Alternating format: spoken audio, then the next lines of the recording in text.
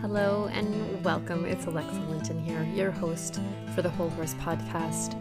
We're here to look at all the ways that the horse industry is changing before our very eyes in very cool, very amazing ways. And we're chatting with the people at the forefront of that change the professionals, the trainers, the body workers, the researchers that are helping our lives with horses become better and better Thanks for being here.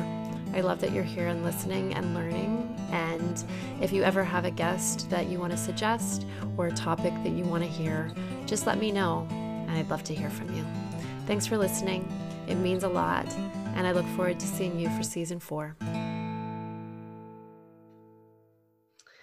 Hi, everyone, and welcome back to the Whole Horse Podcast. It's Alexa Linton here, and I'm very excited to have you back and really, really pleased to be here uh, with uh, Mona.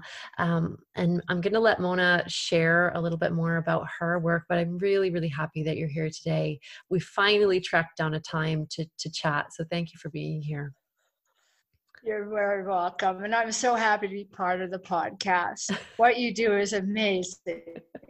Oh, it's such a pleasure. It's such a yeah. pleasure. So so Mona's tuning in here from a little spot she just shared with me called Blackwater Valley, way, way up in the interior of British Columbia here.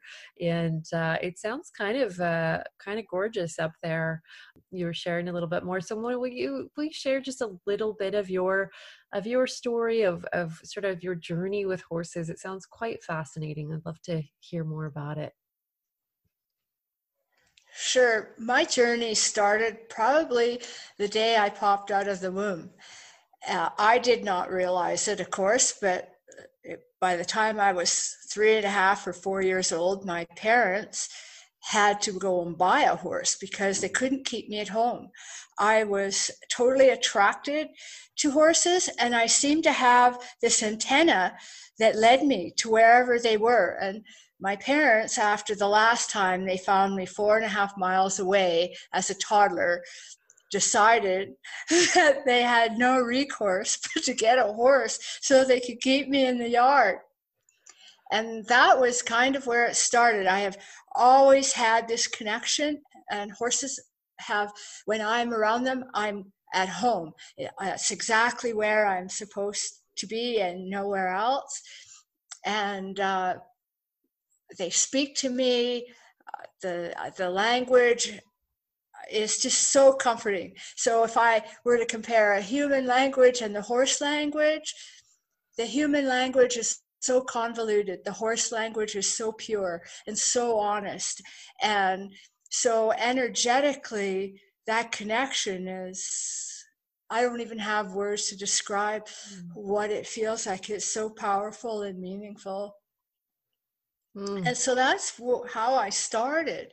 And um, it wasn't long before people are bringing me horses because they can't do anything with them and they want me to do something with them and um, so that was kind of my journey and uh, i trucked along and did amazing things i, I um, spent lots of times in the mountains with uh, guiding and doing stuff like that with horses and then i was part i was lucky enough to be part of the gold rush trail ride where we rode from uh, uh, New Westminster all the way to Barkerville with paying guests and horses of all different types of nature.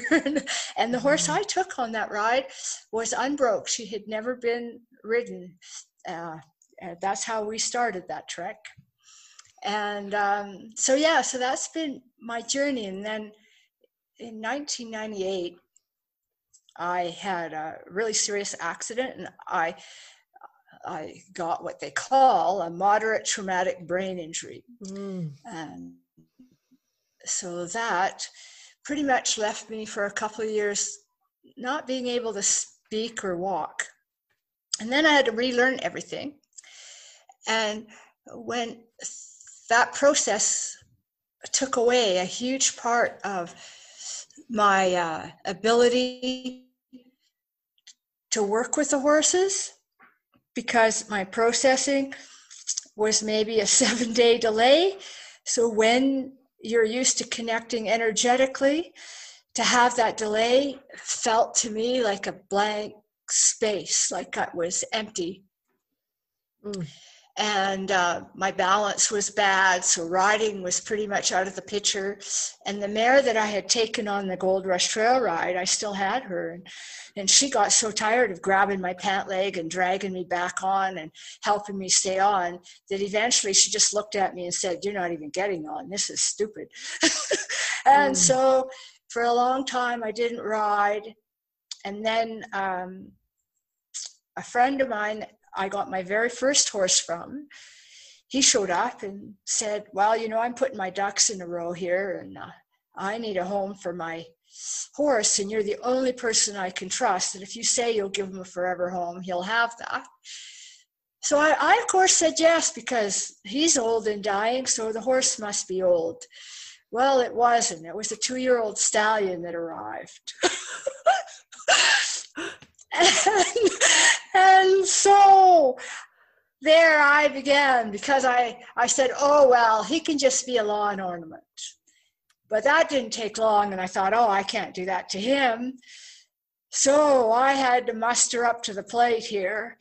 And um, yeah, I had a lot of work to do to get me to a place where I could even remotely be what he required because he um, has really high self-preservation issues and and probably the highest out of any animal I've ever been around. So he had forced me to the top of my game, let me tell you. Anyhow, him and I are still going strong, and and um, as I I'm continually recovering because I discovered hyperbaric oxygen therapy, and uh, so the more I recover, the better he is. And um, so we're the two of us are works in progress, but at this stage, I've I've far enough along in my recovery that I've learned an awful lot about how important we are to the relationship and how everything that we see is a reflection on us. And so if we're not getting what we want, we have to figure out why, because it is us. and so the better we can become, the better everything is.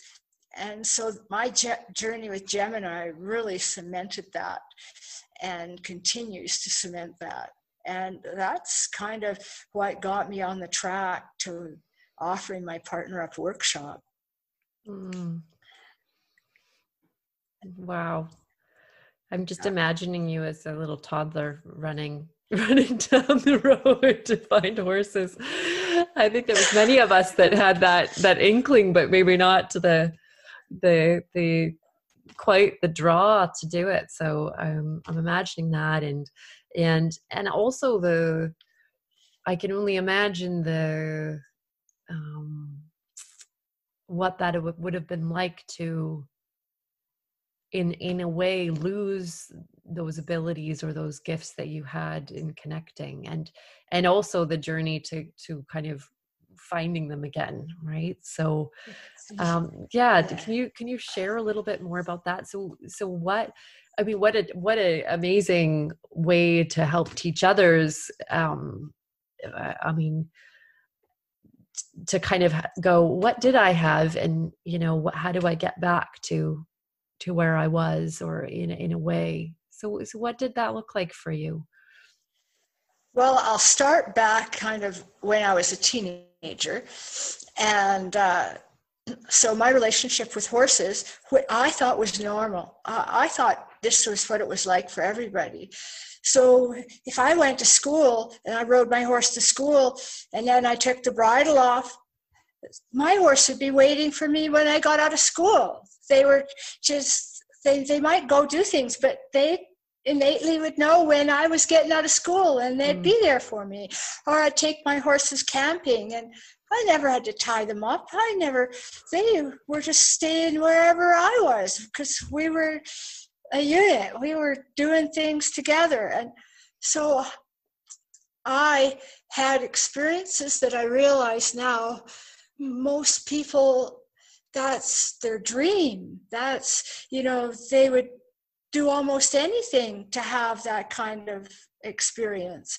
And I, of course, just thought, well, this is what this is all about. This is this is normal, and uh, so with that connection and the energetic way of communicating, when that was lost from the accident, I was lost. I I was, I guess the best way to describe it would be like, I felt like I was not connected anywhere. I like, I wasn't grounded. I, I was free floating. And my entire life, my purpose work has always been to make things better for people. Mm or animals. And so that left too. And so for the longest time, I probably about eight or nine years, I was just blank. And I I guess you just feel like you're it's not even like a depression, but you just cut off. Mm-hmm. And and because I didn't realize what I had, I didn't fully understand what I was cut off from. Mm-hmm. All I knew was that it was empty.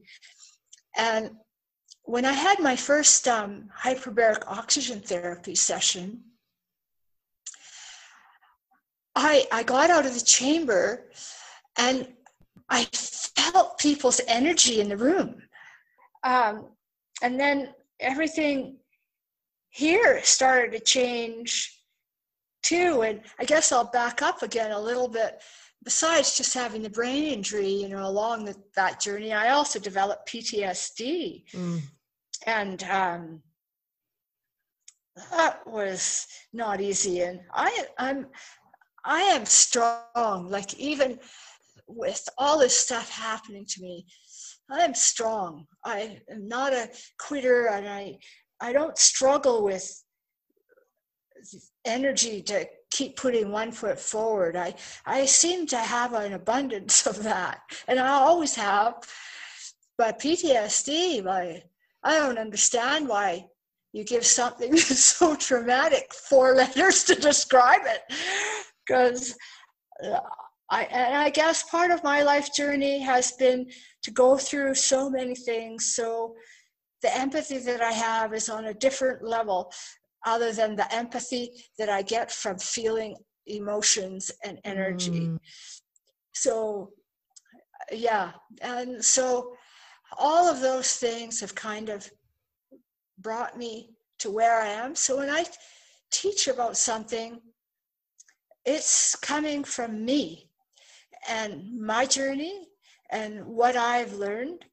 And part of what makes that so powerful is me. So I'm this curious little ant that runs around and somebody says that can't be done well then i have to understand why it can't be done and in that journey i of course figure out that it can be done mm-hmm. and so what i've figured out in this journey really really works and is something everybody can use to make a difference in their lives. So I can honestly say when I was trying to improve my life prior to getting my energy back and the understanding of the gifts that I had, I was trying to use books and uh, it was fell flat to be honest. and so this is so much better. So I actually have ways to help you live without PTSD or anxiety or um, depression, and, and they work. And, and they work because of the physiological way our bodies navigate all of these different things. So by understanding the physiological responses, I was able to kind of find ways to almost totally eliminate the psychological aspects that create so much distress for us. Yeah. It, you you talked a little bit about you know with with your accident and the that sense of yeah essentially having ptsd from the accident. I think that is something that affects a lot of riders and a lot of horses as well um, in terms of you know experiences they've had traumas. I know i've worked with a lot of horses with you know I, I don't think there's a like a diagnostic that says this horse has ptsd but they're you know we can tell that they're shut down or um you know in, in a high level of of of stress response um or reactivity. Um in those cases you know with what you've learned through through your time since the accident what what do you do what um, for yourself and what do you offer up you know for those people or horses that are experiencing something similar? Uh, what i do for myself. I do a lot of things for myself because as you're well aware uh, if i'm not awesome to myself i can't be awesome to anybody else. Mm. and uh, as somebody that wants to help everybody, uh, you have to be very careful because you cannot let your glass run empty. You need to ensure your glass is always full. And so, in order to do that, I really work hard at never letting my power slip away. Mm. And we can we can diminish our power so easily. You know we have a negative thought in our brain. How we talk to ourselves our self-talk sometimes mm-hmm. is so powerful. And so and allowing other people to take more than what they should take is another really powerful diminisher on our our power. So when we can stay, I focus on staying grounded. I practice gratitude all the time because life is full of everything that you need when you need it. You just need to be open enough to accept and acknowledge and realize that it's actually there. So you can't chase something. You have to allow yourself to get to a place where there's acceptance that it's going to be there when you need it, not because you have a time ta- timetable, but because that's when it's meant to be for you. And so I practice those things, and none of them are easy. I have to work at it every single day to keep me so that my energy is as powerful as it can be. Mm. And with my animals, I have to practice acceptance. And that means it doesn't matter if I think, well, I'm going for this kind of ride today. I have to check in and I have to see where they're at and how they're feeling today and what they're actually capable of today because I I only want to work with. I don't want to do two. So that means I have to acknowledge how they're feeling. And if they're not into that energetic ride that I really wanted, well, then I have to be happy with the kind of ride that they're willing to provide me with that day and maybe do something to maybe towards the end, I might be able to get what I was going for because I've gotten them into a place where they're actually willing to give that. And not just because I demanded it, but because they really want to do it for me. Mm.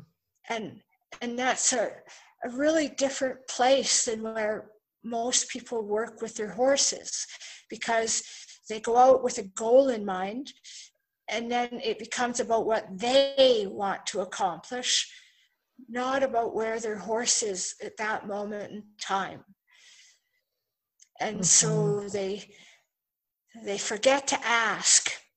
Mm-hmm.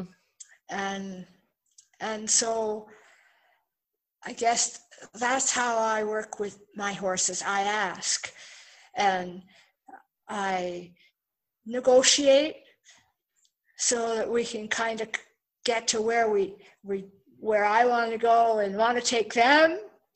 Yep. But it's a negotiation and they have to feel like they're equal. Otherwise they lose interest because I know I don't do very well when somebody's busy telling me how it's going to go. mm-hmm. And and so I, I guess in a little bit of a nutshell, uh, that's what makes me different is the acceptance level and and I'm okay that they tell me I don't want to today because I'll try to figure out why they don't want to and then I'll try to see if there's something else I could do to kind of change their mind and kind of bring them around to where they're going yeah all right bring it I'm ready mm-hmm. and mm-hmm. so we go through life like that and um, energetically sometimes that takes a lot of work mm-hmm. and um, but it's worth it. I find it very very rewarding because having a willing partner means everything to me. And so my horses because i'm short you know i'm five foot half an inch. I got to add that half an inch right? Um, they know that I can't get on. So if I have to go pee or something and I'm riding, it, all I have to say is, gee, you guys, I have to go pee. And they start looking for a stump because they know they need to deposit me on something so that I can get off, so I can go. And then when I climb back up on the stump and I go, well, you got to come closer you know they look to see where they are and they line themselves all up and they ensure i can get on and that kind of willingness doesn't happen because i i want them to do that. It happens because they want to do that.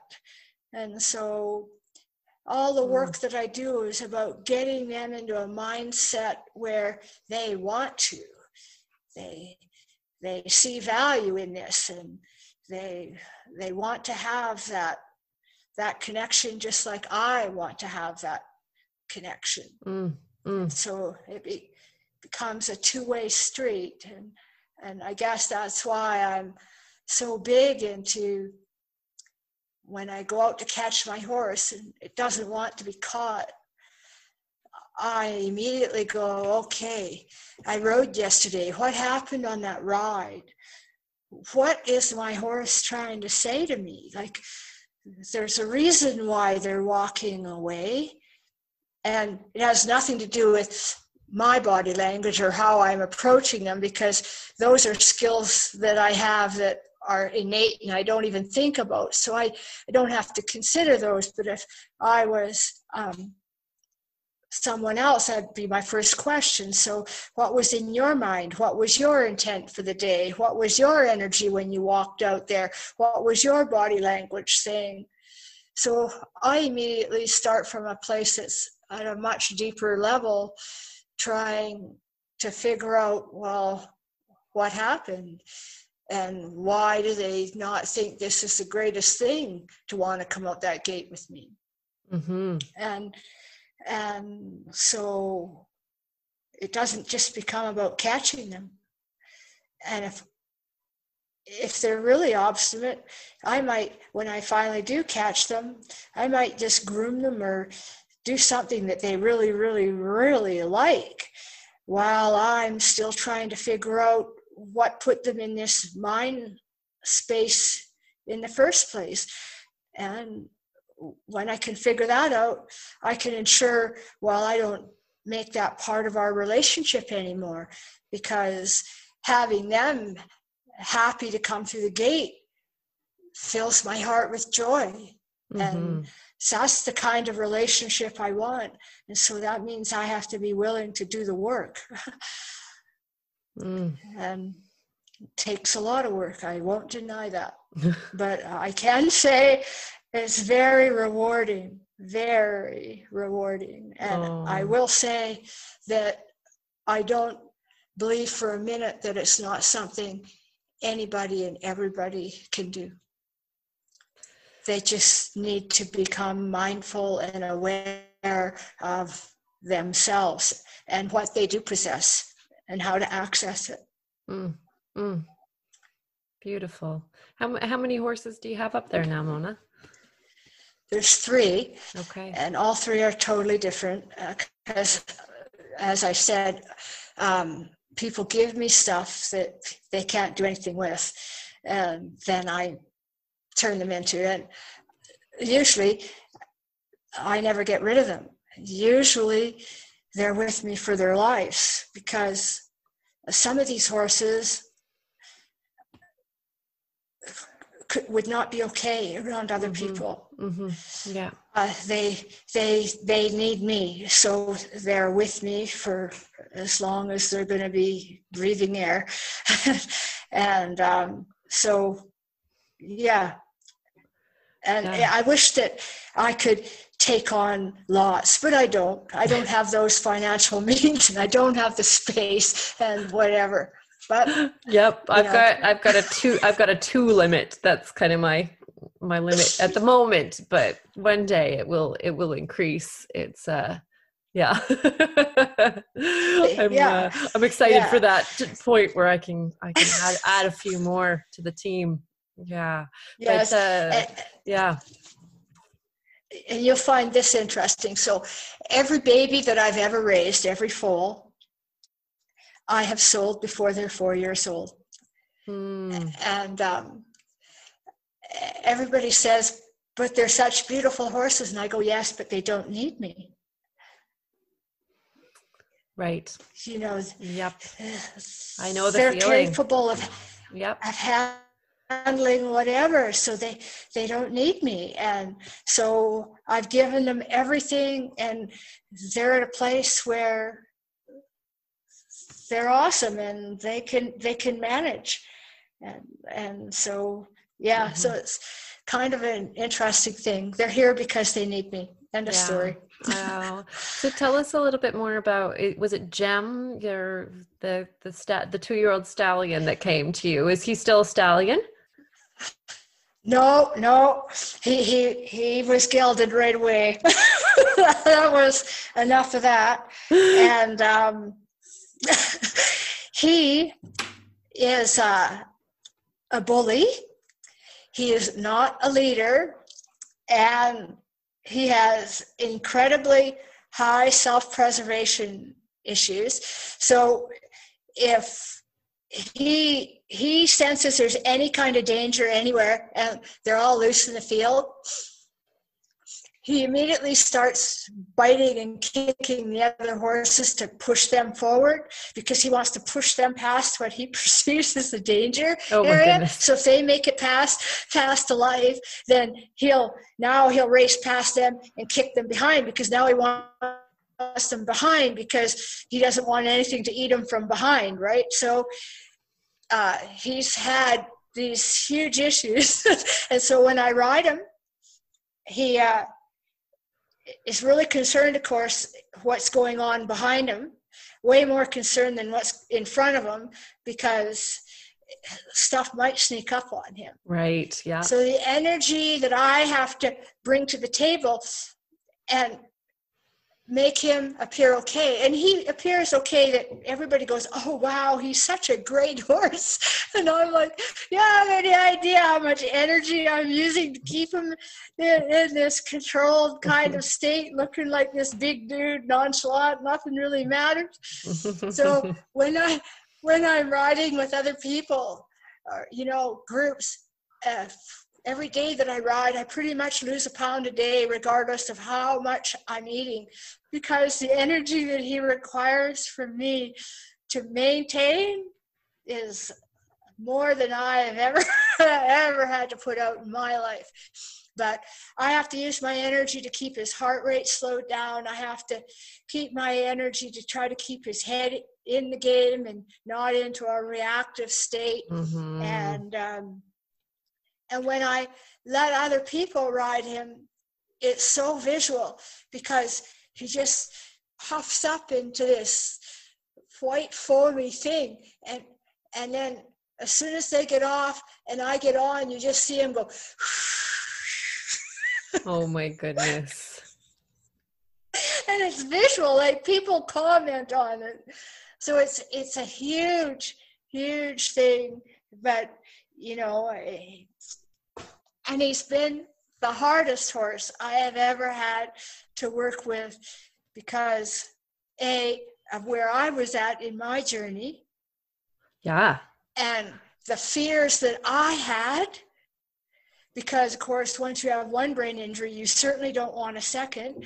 And so all of those fears, and so trying to make me not a part of his fear, well, that was a pretty big ticket item. And no over kidding. the course of my life with him, I've even had other people help me try to work with him, like when my PTSD was at its worst, you can imagine what that did to him. So I would open the house door, he would feel that PTSD energy no matter how badly I tried to hide it. And he'd run to the far end of the field. Mm-hmm. He wasn't coming anywhere near because I wasn't safe.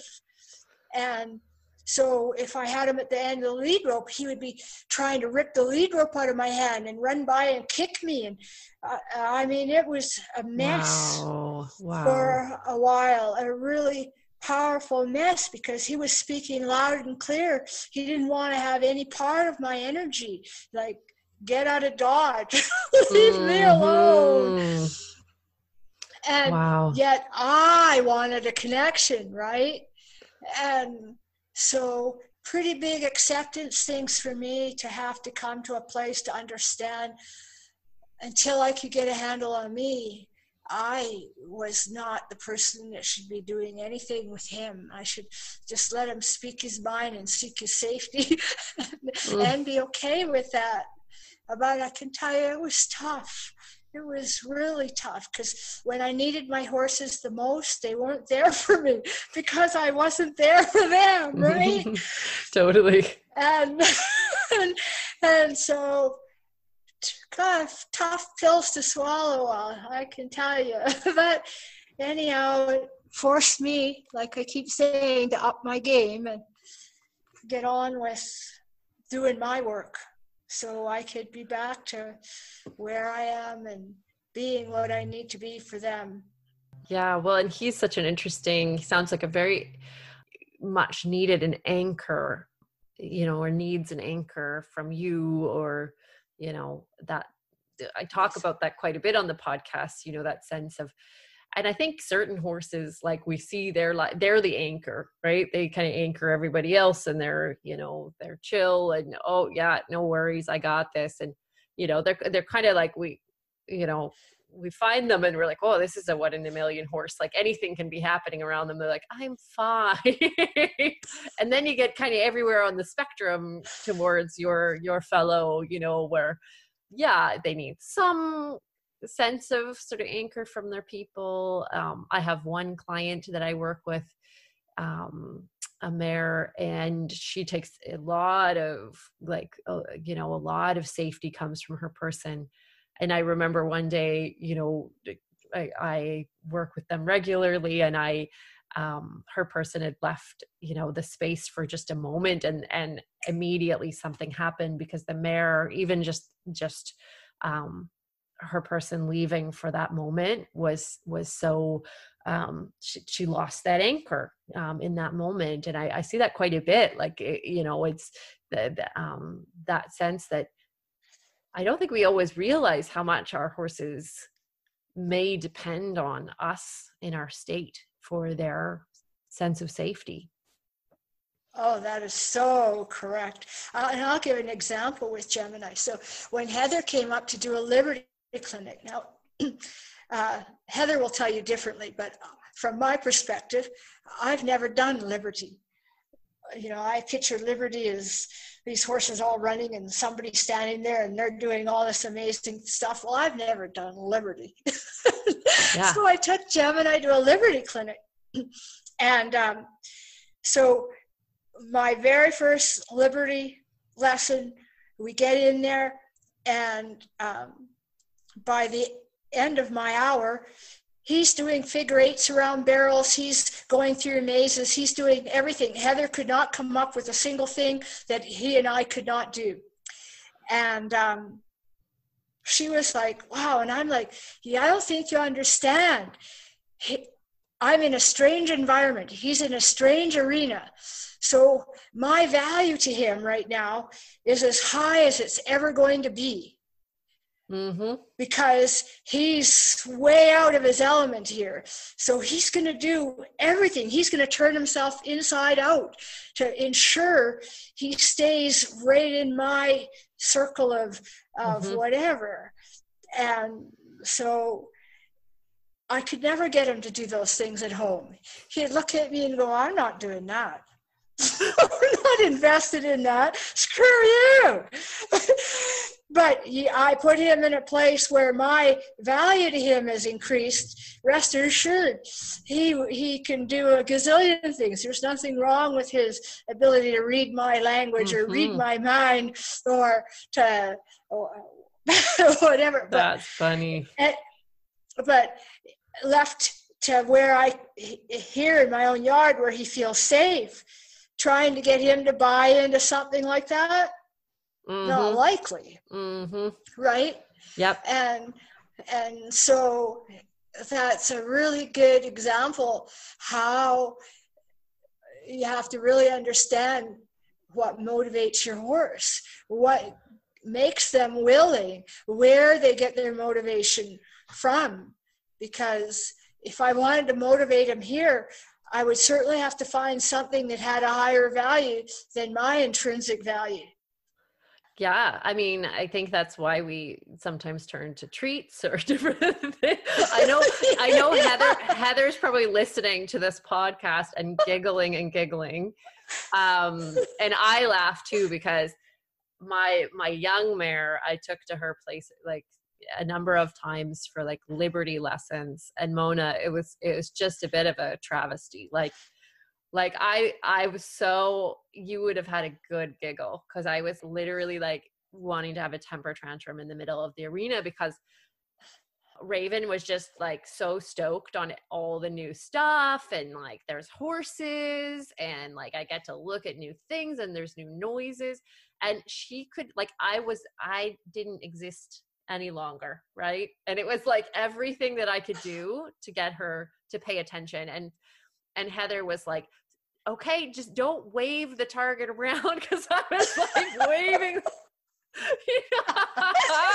just like I'm over here. I'm over here. and uh, it was it was quite a humorous scenario.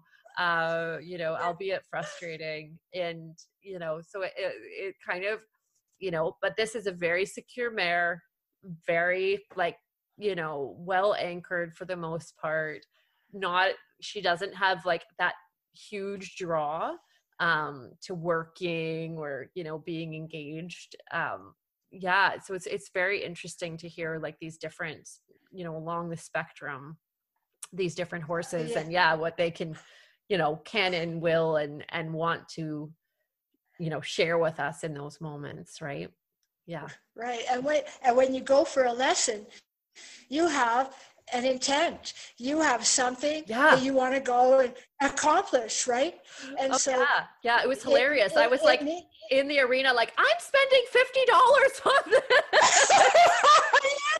you know, and, and she doesn't and care. So our, our, our our acceptance goes out the window oh, totally. because now now it's not about understanding where they're at it's like well the whole here this is what i want yep. and uh, and then we forget there's because now it's no negotiation now we want to try to make them do what we want because hold it here this is why i'm here this is yep. what i want yep oh absolutely I think that's a really hard place to get to because the acceptance has to be not only about where you're at and what you want and why you're feeling the way you're feeling, but it has to go the other way about where they're at and why they are the way they are and what they're doing and and why and kind of being okay with it in that moment and having the confidence to think that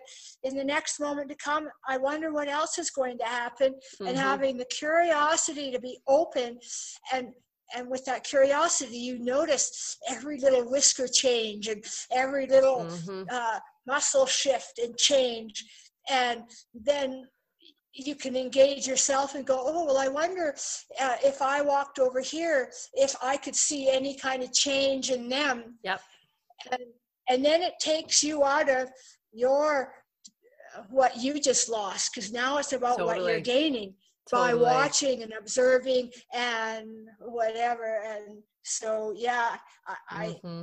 I, I talk about that kind of thing a lot when i'm doing a workshop because we're human and we have objectives and we have places we're going and we have a game plan on how we're getting there and when we're with horses um, that kind of has to a little bit go out the window because they have a bit of a say. and, Hopefully, um, yeah, yeah, that's yeah.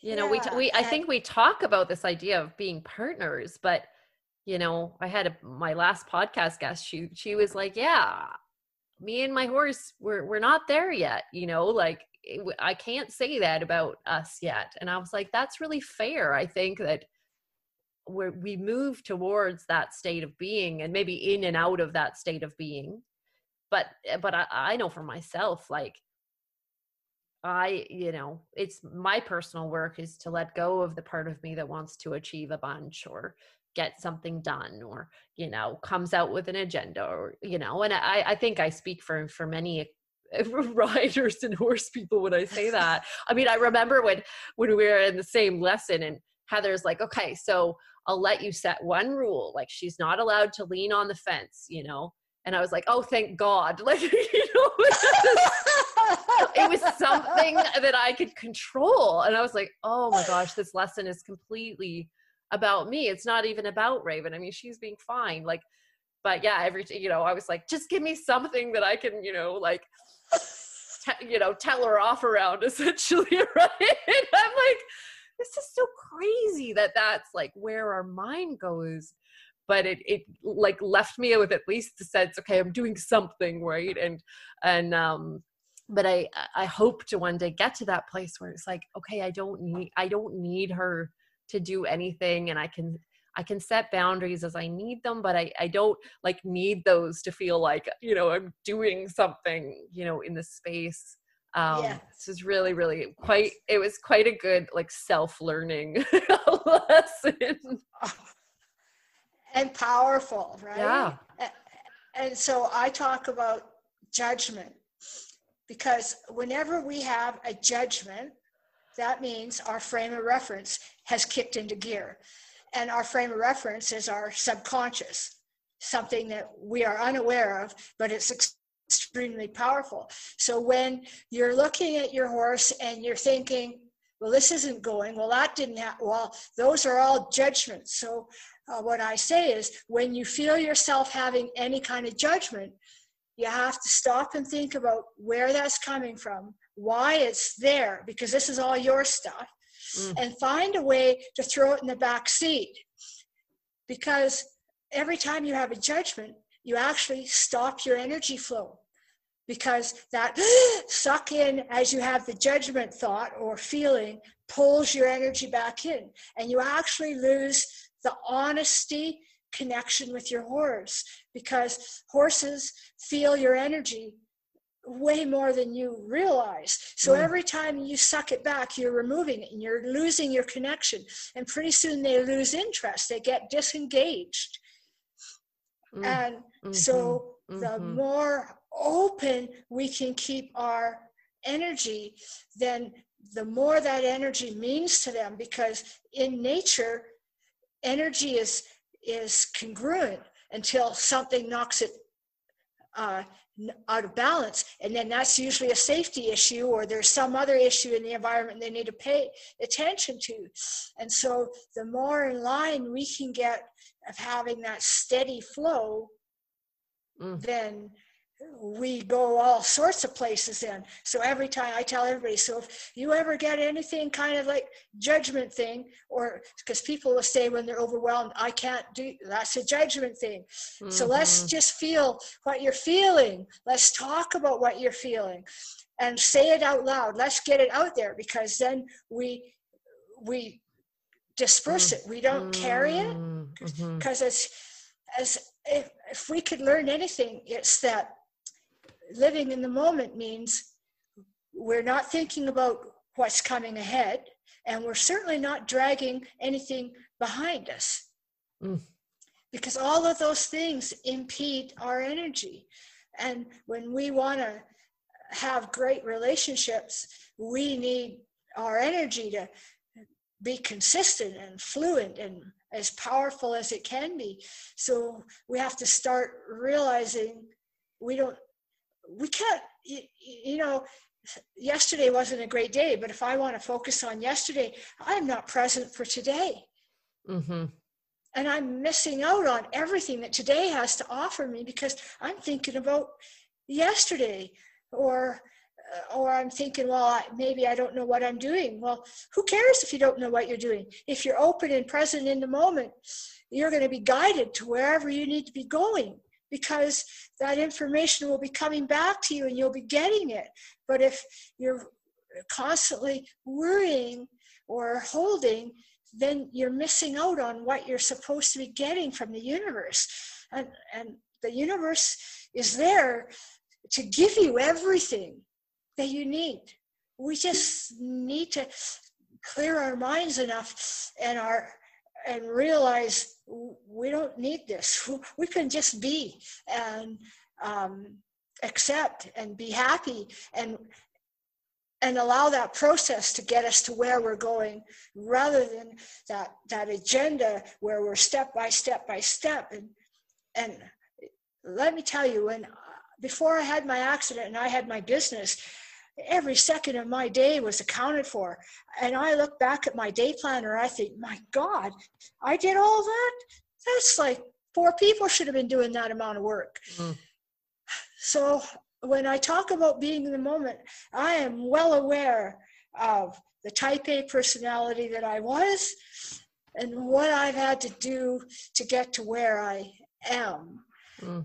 And now, where I am, I look back and I think, I wish somebody would have taught me this because I'm accomplishing just as much today as I was back then, but in a whole different manner. And the reward to myself is a hundredfold in my emotional and energy world. And the reward to everything else is they get all of me. I don't have anything. Well, I got 20 minutes for this, so I better, you know, because that was mm-hmm. what would go on in my mind prior to being in the moment. Everything was accounted for. Well, I got to get out the door because I got an hour to make this happen. Okay, yeah, now, well, that's over. Yeah, well, now I'm on to the next thing. Mm-hmm. Mm-hmm. And, and my life now is because sometimes I meet people and they go, "Well, living in the moment is impossible," and and I realize why they feel that because they think living in the moment means you're doing nothing. but living in the moment doesn't mean you're doing nothing. It means you're doing everything. It's just that you're cognizant of every emotion, of everything that's coursing through your body. You're accepting it, feeling mm-hmm. it, acknowledging it, utilizing it, and moving forward. And in that next moment, everything that you just were feeling is gone and you're this is all new and and you're not thinking about where you have to go what you should be doing you're still going to go there. You're still going to pick the kids up after school. But when you have your mm-hmm. hour and a half that you're doing something you're totally in the moment doing it. And just like you're totally in the moment picking up your kids you're not worried about going to the grocery store. You can think about the grocery store when you're in the grocery store. And so, so Yeah. living in a moment doesn't mean you're just some sort of airy fairy person hanging out doing nothing all day long. It just means you're changing what you're carrying in your energetic body. Mm, that's that's so helpful. Yeah, and I I started with a new therapist yesterday. She said, well, one of the first things she suggested, she's like, "Are you meditating right now?" And I was like, I actually haven't been doing a practice as such. And you know, I I often kind of because my work is quite meditative and I do you know my mucking is meditative there's lots of meditative things but you know she she was really like no you need to sit you need to actually be you know like take that time carve that time out and i was like yeah i think that's a good plan and i i you know i even tried to do i think 10 minutes last night i was like okay yeah i've got some work to do on presencing and being in the moment right now um and yeah like seeing how that can that can really really help us so much in all of our lives but you know especially with our horses i mean that's where they live all the time so you know that they relate to that way of being um i think in in the the biggest way so yeah that's really really helpful. Thanks mona. And we're we're coming to the end of our time here. It's been a really wonderful chat and i wanted to see if you've got any resources that you want to share mona any any people that you you know love working with or books that you're loving? Um, I was going to throw out Alana Hunt, and so she does some abundance meditations.